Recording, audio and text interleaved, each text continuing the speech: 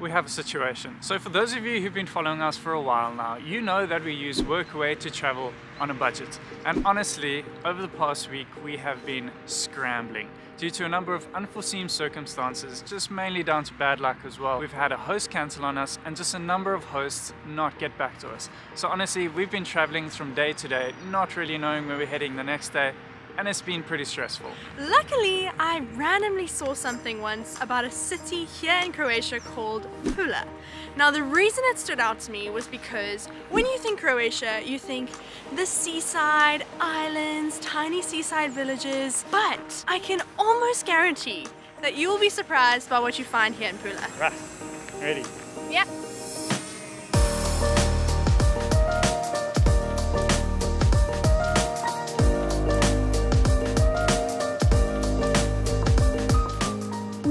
Sarah and Marek. In October 2020, we left our home country of South Africa and set out to see the world using budget travel strategies to make our travels last as long as possible. From working on a traditional winery in Georgia, to a sailboat in Turkey, to attempting to hitchhike over 1,800 kilometers in four days, our budget travels have by no means been boring or uneventful. We can't wait to see what's next.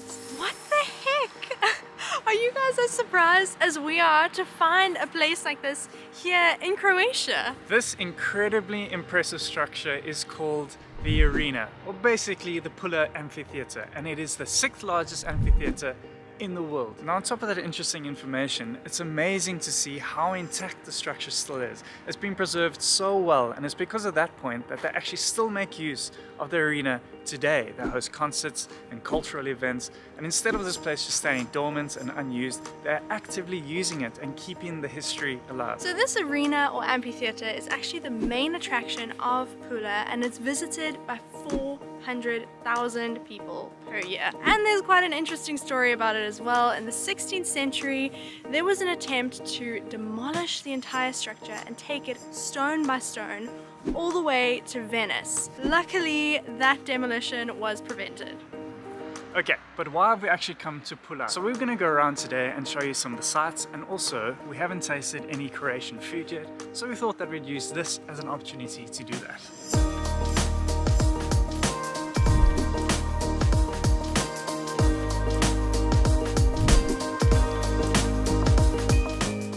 One road, two roads, three roads, four roads, five, six roads, all leading into this one intersection point. Crazy. I don't know why I find that crazy.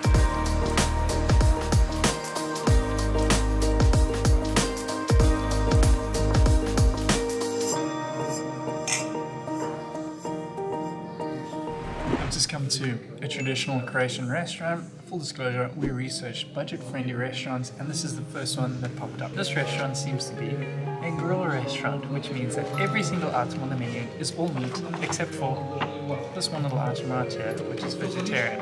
Something that we've learned during our time here in Croatia is that meat forms a massive part of the Croatian diet, which basically means that I'm in heaven right now. Just being in here, all you smell is just a smell of grilled meats and fires in the background. It's just, it's a really nice place to be. Surprise, surprise! Marek is definitely the bigger beer fan out of the two of us, but this beer is really, really good. It's called Pan, and it's so light and sweet. And for me, and my personal preference in beer, I would say this is probably close to the favorite or best beer I've ever tasted. okay, hold on. Look at the size of this thing. Just like don't know the name of it, but it's basically a traditional Croatian hamburger that has been stuffed with sheep's cheese in a traditional Croatian bun. It smells incredible.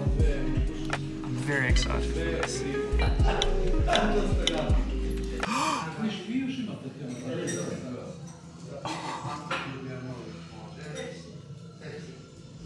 That is the best that I've ever tasted. The meat is nice and soft and like succulent and then you've got the cheese on the inside that brings a nice little... But it's also got a bit of lemon juice as well, so it's like a lemony juice sheep's cheese flavor inside of a perfectly grilled patty or hamburger. Oh my, I need to taste the bread as well. This is good. This is just downright good. Our next dish, once again, we don't know the name, but we'll put it in the video, is this. It looks incredible.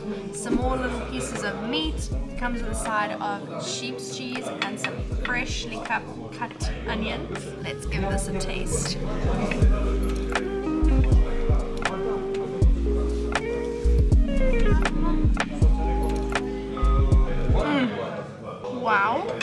Speechless. this meat is incredible, so succulent, so delicious. And this sheep's cheese is so creamy, but not that usual really, really strong flavor that you would get with sheep's cheese. It somehow is just creamy and quite sweet and gentle, the flavor. So I really, really like that. This is really good food. really good and not what I expected. I don't actually know what I was expecting of Croatian cuisine, but this is amazing. I'm not even just saying this. That was honestly one of the best meals I've ever eaten. That's the type of restaurant where once you go and sit down there, you can spend the entire day at. They've just lit the fireplace, the food is amazing, the atmosphere is even better. It's just a really nice place to be and on top of it all, it really felt like that was like a neighborhood restaurant. It feels like that's where the locals go and enjoy food with their family rather than being like a touristic restaurant and it's really nice. But there's more for us to see so we've got to keep moving.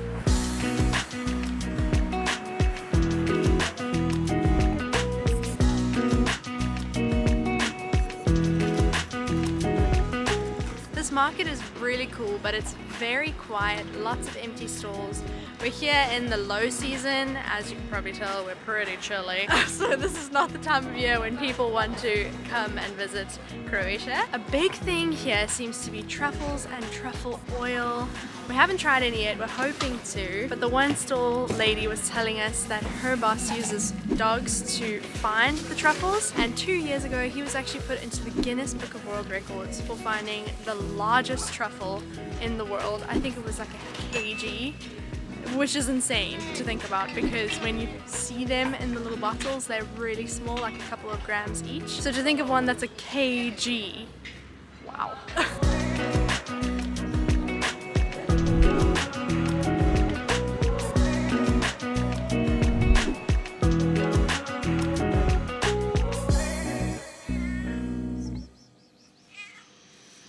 Not really the route that's recommended on Google Maps, but it's a bit of shortcuts. Things you make me do, Mary.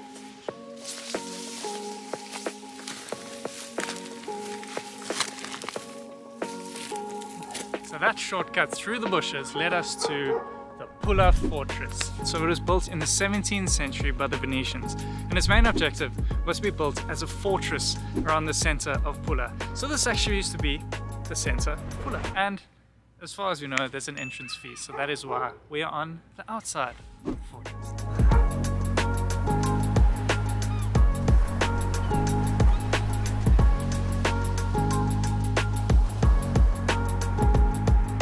This is the temple of Augustus. It was built in the 2nd century BC and it's had a number of purposes throughout its lifetime, including being a church and a storehouse for grain, up until it was bombed and completely destroyed in the Second World War. Luckily, it was restored just a couple of years later and been given a lapidarian purpose, which means that it's been used to store stones and fragments of archaeological importance Don't worry, we had to Google lapidarian as well. we didn't know what that meant. It's a big word, and a word I can honestly say I've never heard before. That pretty much rounds out the sites that we wanted to see in Pula, but we have heard that Pula is known for having really good seafood. So we can't think of a better way to end this video than tasting some of the local seafood. But now... First we gotta find some though. We need to find a restaurant that's within our budget range because we've been looking and some of these places are really expensive.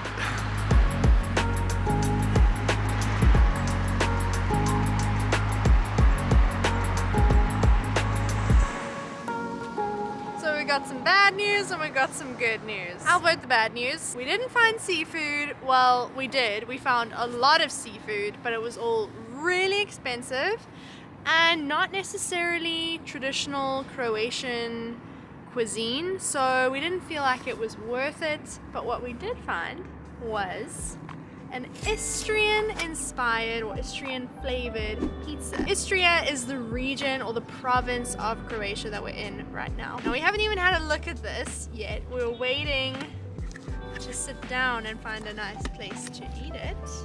Oh,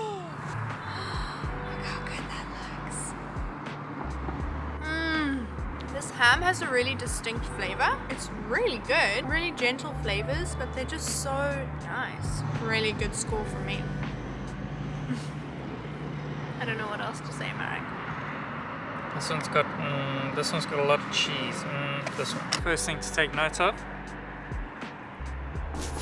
Ah, yes. wood oven, boy. this ham is so nice. The ham is slightly salted, ever so slightly salted. It's finely cut together with the cheese and the tomato sauce and the olives, it's just like a oh, flavor explosion. I'm not even just saying this. This is a it's a really good pizza. And to keep in line with our Croatian food tour, we've got another Croatian beer. But I need to open it first.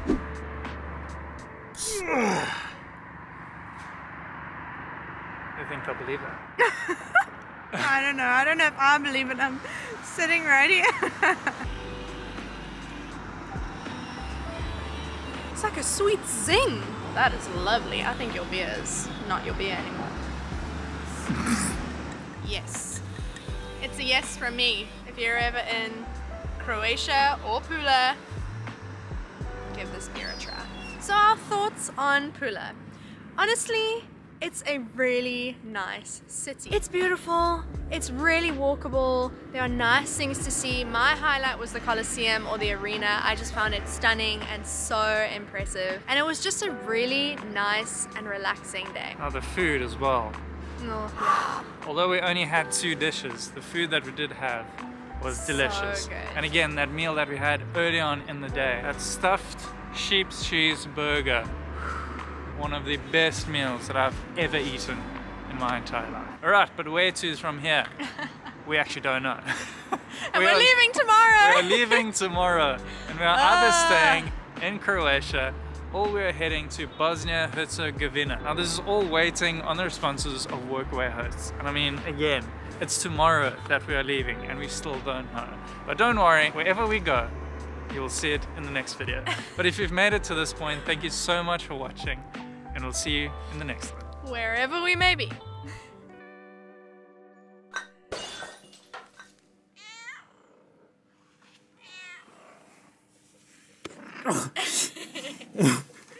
Why do cats always do that? This market is really cool, but it's really, really quiet. I think I was talking when you. Back in the day, it was built. It meant. It was what? And back in the day, it was actually built, and its main objective was to be, was what? As a fortress. Yachtbrat. and it has now been oh, I was doing so well. Why Opa! does that sound like